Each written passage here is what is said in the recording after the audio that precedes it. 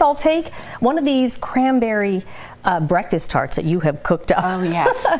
so we're so excited. Is it okay to just kind of dig in now? Oh, sure. All right, Sure. Isaac, I They're know, kind of I know you are waiting. I'm going to take A cross this one. This between one a Pop Tart and a toaster strudel, those strudel pastries, love because Yeah. they're fluffy and flaky, and then they've got just a little bit of a zing to them, but Thank not you. too much, you know, so the children can enjoy them too. Mm-hmm. And don't worry if they break. My mom always said that if there's like a little break in, you can see there's a break in this one. Yeah. That's where the calories leak out. So I'm getting the calorie-free one like right here. that. Yep. and this is a healthier way to go than your your you know regular Pop Tart. I think a lot less sugar, but still sweet enough. Exactly. Yeah. Yes, and especially if you use your own cranberry sauce, you Mm-hmm. can monitor what type of sugar. You know, there's one called Swerve that I love to use because it's cup for cup for granulated sugar, and it tastes delicious. I mean, Mm-hmm. really it's so good. It's yeah, it's uh, you know you can see here it's Mm. just loaded you know with the delicious jam. You know, there's not just that little tiny thin Yes, strip. is. Right, And right. then you've got the fluffiness, so it's very easy to eat. It's uh, maybe dangerously easy to This, eat. this knocks Pop Tarts out of the water. Like, Don't buy Pop Tarts. And this might be something great to have um, Thanksgiving morning.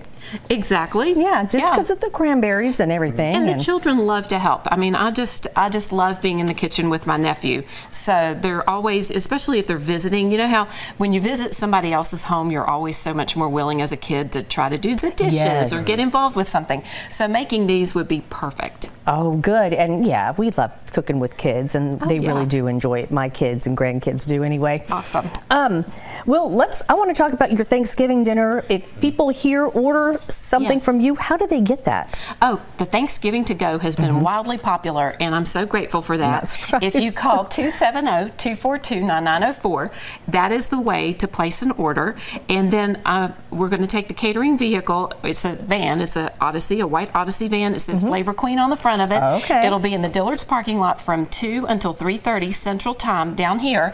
And that's, you just come up to it and state your name, and we're going to, um, you know, have those ready to pop into your car. That that's pretty neat. You can um, have the flavor queen make your Thanksgiving dinner, and yeah, she'll bring Yes. it to you practically. Yes, right here at- absolutely. At, the Dillard's parking lot. All right. Well, um, how do we get a hold of you? We've got just a few more seconds, and how do we get a hold of Um, you? well, if you want to come and visit the restaurant, that's at 102 West Main in Clarkson, Kentucky. Mm-hmm. And the phone number is 270 242 9904. All right. Thank you so much.